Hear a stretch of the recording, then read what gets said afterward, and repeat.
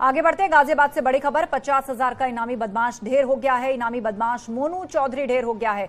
Encounter में दो पुलिसकर्मी घायल भी हुए हैं। गाजियाबाद के मुरादनगर इलाके में ये मुठभेड़ हुई है। प्रॉपर्टी विवाद में व्यापारी मुकेश गोयल की हत्या को इसने अंजाम दिया था। तो पचास हज़ार का इनामी ढेर हो गया है, जिसका नाम मोनू चौधरी बताया जा रहा है। इस पर पचास हज़ार का इनाम था। पुलिसिया एनकाउंटर में ढेर हुआ है मोनू चौधरी, लेकिन साथ साथ दो पुलिसकर्मी भी घायल हुए हैं।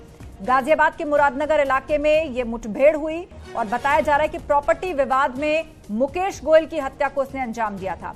ज़्यादा जानकारी के लिए हमारे सहयोगी अमित हमारे साथ जुड़ गए उन्हीं से अपडेट लेते हैं। अमित, विस्तार से बताइए, क्या जानकारी आपके पास?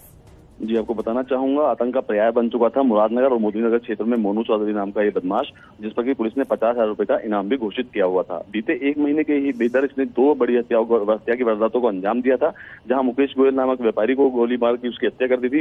सुबह ही जैसे अपनी दुकान पर पहुँचे थे, उससे एक महीने पहले ही ठेकेदार थे मोदीनगर में जो ठेकेदार का काम किया करते थे, उनकी भी गोली मारकर हत्या कर दी गई थी।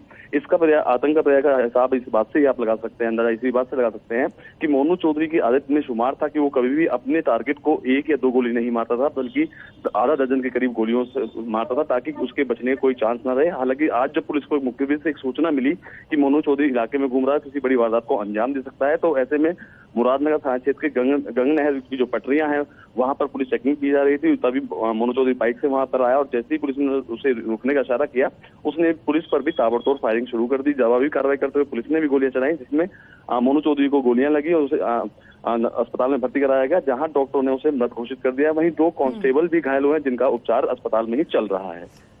आप नज़र बनाए रखिए, जानकारी के लिए बहुत शुक्रिया आपका।